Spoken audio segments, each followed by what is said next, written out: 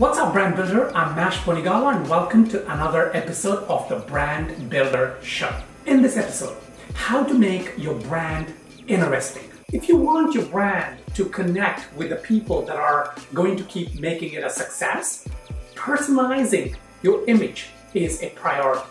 Personalizing the brand image is a priority.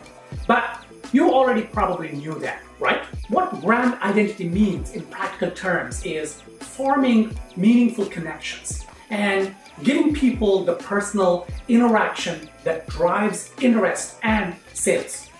The internet has changed the way that people communicate, and today, branding is taking on a level of uh, interactivity that makes engaging customers more important than ever before. Creating interest in your brand can take advantage of uh, social media to reach people in ways that simply weren't possible um, a few years ago.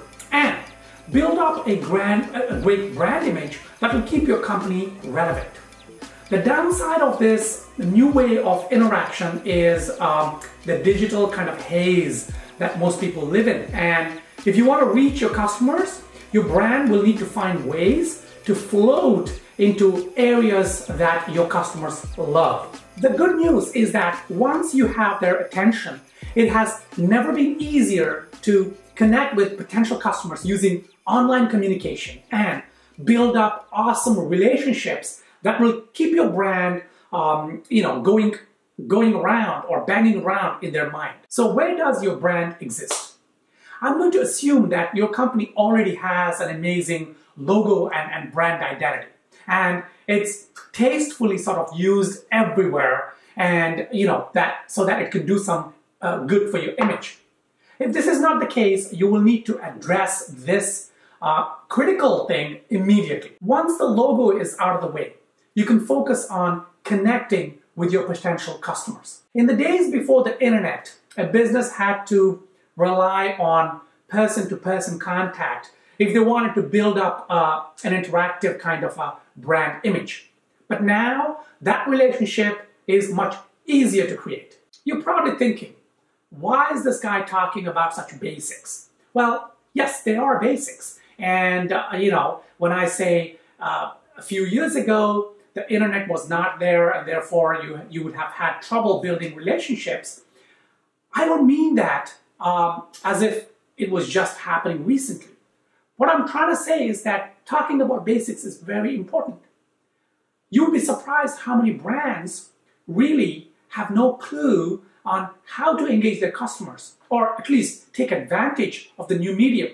And I still call it a new medium because tons and tons of brands out there uh, do not take advantage of the new way of interacting with customers, building relationships. And that by itself is, you know, something that you need to talk about, something that you need to think about.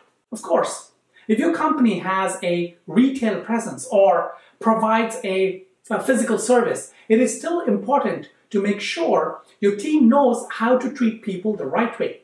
These connections are everything when it comes to putting a face on your brand.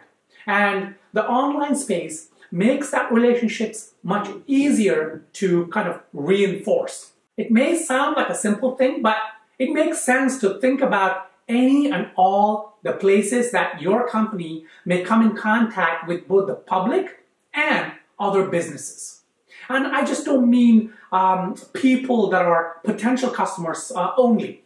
Your suppliers and service providers are also powerful connections that can sort of harness for networking and building your business. For example, if the guy that delivers um, shipping to your doorstep loves stopping at your place, then make sure that he has a way to, to share how much he enjoys working with your brand.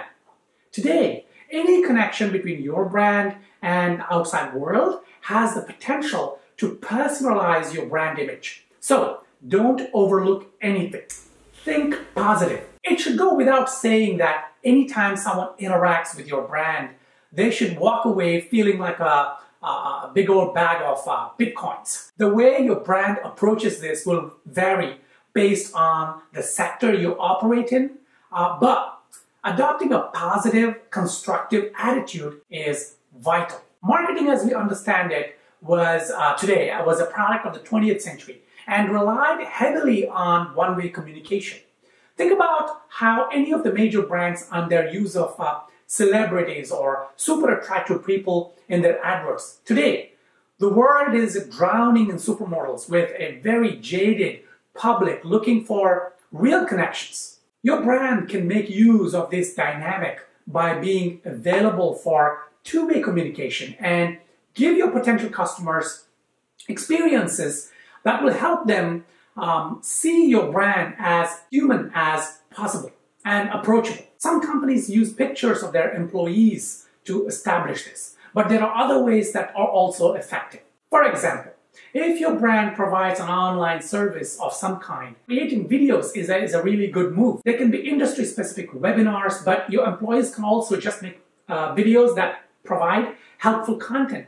Regardless of how you decide to you know, craft media for free distribution, the real trick is to use it as a starting point for online interactions via you know, the comment section or social media for, for sharing and so on. Once you have some killer content on your hands, it is time for the real fun to begin. People like to talk online and you can use that to build, a, uh, build up a stellar brand image. You will need to have an exceedingly professional social media operator who can uh, kind of chat up the word on your behalf if you don't want to do it yourself. Once the comments start to fly in, then they can jump in and keep the, uh, keep the party going. The real power for brand building in social media lies in the public's love for interesting content. Your online chatterbox should know how to direct the conversation in an interesting direction so that people feel like they're having a great interaction with your brand. This whole process also acts as a sales pitch, but one that relies on the image to work. Don't use these uh, the interactions to, to simply push your products because then your company will come off very salesy and people will be turned off completely. When you create an image based on authentic interactions, the public will enjoy learning more about your products or services. The goal should be um, creating engaging conversations and amazing organic content. Think about it like a, a conversation at a party that anyone online can have access to. This kind of content strategy will go a lot further in the social media sphere than normal marketing efforts. And also, give your, your kind of audience something to share with their friends and you know family and associates. Don't worry about negative comments. In fact, use them. There is a natural aversion to dealing with uh, negative content or negative comments, but this is a missed opportunity to sort of humanize your brand. In a perfect world, everything would um, sort of work flawlessly and no one would ever make mistakes. But this isn't how reality works. And your brand can use problems to show how much you care about your customers and your target audience. When someone starts to complain about a problem with your brand, don't it. You know, start talking to them on Twitter or Facebook. Make sure that your employees use their names and are sincere in their desire to learn about the problem.